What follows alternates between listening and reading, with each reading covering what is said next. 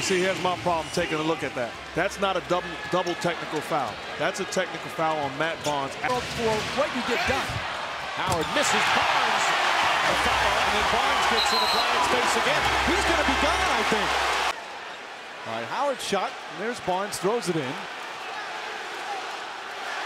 Oh, how? Uh, see, how, I think there's very few guys that can play both hard and smart. See, I mean, why are they running into each other? Why is Matt Barnes doing that? It doesn't make any sense to me. Unless he thinks he can entice Kobe Bryant to get thrown out. Either that or there's no way he's going to intimidate. And now a two-shot foul because the foul occurred before the ball was inbounded. Tony Brothers now telling Matt Barnes and Kobe Bryant to knock it off. And he fakes the ball. I mean, somebody in, in a Magic uniform, uh, even if I'm Stan Van Gundy, I could